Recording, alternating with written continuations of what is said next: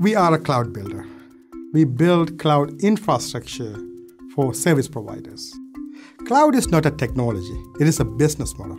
It's a business model that enables organizations to deliver or consume IT efficiently and effectively. Software defined networking is the important piece in cloud. Without that, you cannot deliver true cloud.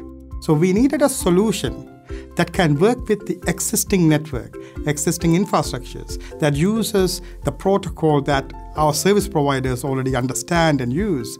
The beauty with our system and working with Juniper, we are actually enabling our service provider to differentiate by providing special security services.